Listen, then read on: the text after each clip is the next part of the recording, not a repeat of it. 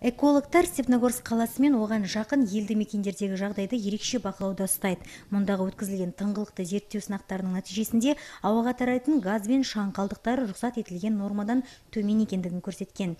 Өңірде атмосфераның ластануын бақылайтын сегіз автоматты бекет орналасқан. Олар қазгидромет облыстық филиалының қарауында. Екеуі степногорск қаласы мен ақсу кентінде орналасқан. Наблюдения ведутся э, бақылау тәулік бойы жүргізіледі. Деректер серверге әр 20 минут сайын келеді. Олар көміртегі және азот оксиді азот диоксиді және күкірт диоксиді және қоршаған ортаны ластайтын басқа да заттардың көрсеткіштеріне байланысты.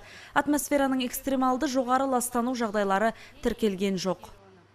Была проведена проверка. Тексеру жүргізілді, зертханалық өлшеулер жүргізілді. Олардың нәтижелері бойынша атмосферадағы зиянды заттардың шекті рұқсат етілген концентрациясы белгіленген нормасын асып кетуі анықталған жоқ. Жергілікті атқарушы органдардың талабы бойынша елді мекендердің шекарасында зиянды заттар мен радиация мөлшері өлшенді. Рұқсат етілген нормалардың асып кету жағдайлары анықталған жоқ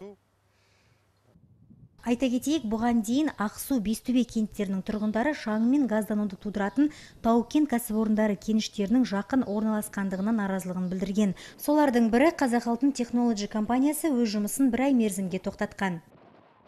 Вызывает недовольство жителей. Кәсіпорын жұмысының барысында ауаның ластанып шаңдану мәселесі тұрғындардың наразылығын тудырып отыр. Соңғы екі жылда болған жағдай. Қазіргі уақытта тау кен өндіру фабрикасы өз қызметін тоқтатты. Бүгінгі кездесуде кәсіпорынның бас директоры тұрғындар келісім бермейінше зауыт жұмыс істемейтінін мәлімдеді.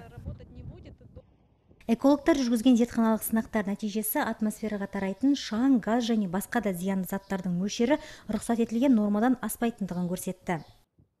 Нам поступил сигнал в том что бізге бестөбе кентіндегі экологиялық қауіп туралы шағым түсті. Анығында қазақ алтын технологи кәсіпорны жұмысының нәтижесінде тозаңдану және газдану туралы айтылды. Арнайы зертханалық зерттеулер жүргізілді. Екі сынама алу нүктелерінде ауаның ластану нормаларын асып кету жағдайы анықталған жоқ.